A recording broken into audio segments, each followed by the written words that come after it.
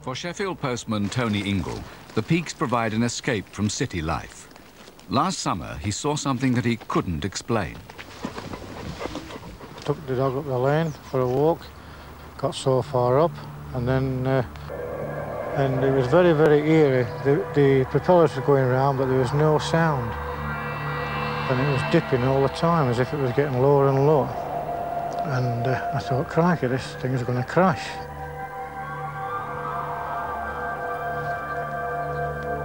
And as I looked over the edge, I thought I'd see the plane. There was no plane.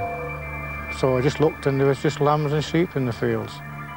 The best way to describe it was as if someone had died and he'd moved into a room and it was just like death. It was terrible. It was a very eerie sensation, not very nice at all.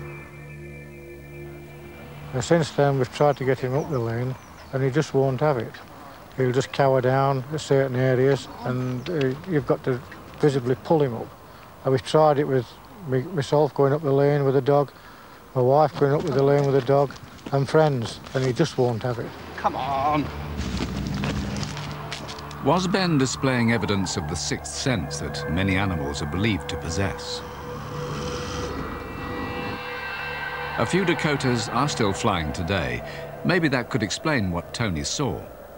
Well, we've got 11 Dakota aircraft, and therefore that makes us certainly the largest Dakota operation, civilian Dakota operation in the world, in fact. And we checked into the flight time details that you gave us, and we found that none of our aircraft were airborne, let alone in the area that you specified on the time in question.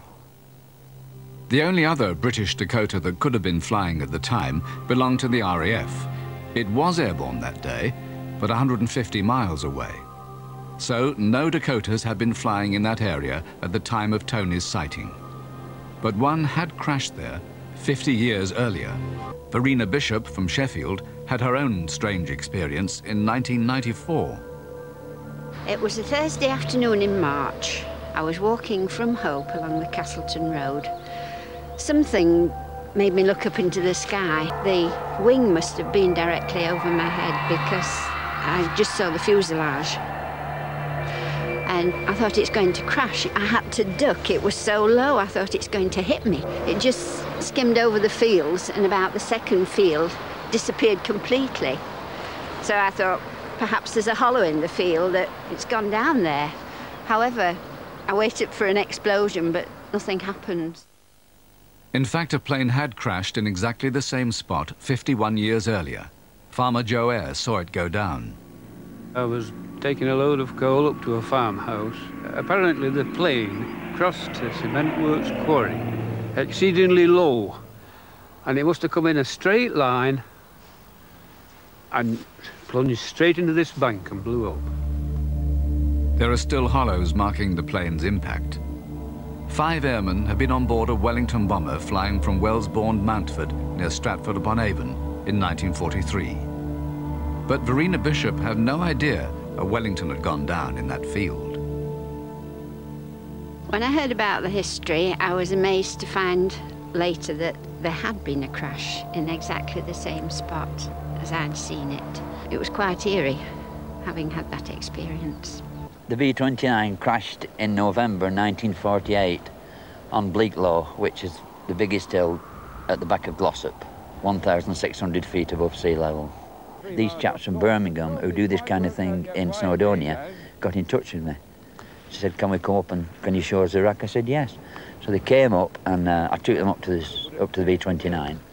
They found one of the crew's watches smashed and it had stopped at 10.50 the time. One of the lads said, whereabouts did you find the ring? And I said, here, and I kind of bent down to show him the exact spot. And the next thing I looked up and they were kind of 10, 15 yards away and, and they just scarpered off them more like, like scared rabbits. Where are you going? They were just ashen-faced and left me there. And it's quite away from the road. When Gerald caught up with them, they told him what they'd seen. I said, what are you doing there? They said, believe it or not, there's someone standing behind you looking down with, with full flying uniform on.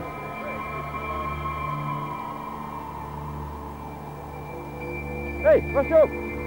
And I turned around, obviously, and saw nothing. And they said, hey! well, we've seen it, we're going. And they shut off the moor. Thanks for bringing us, and they went. and I've never heard from them since.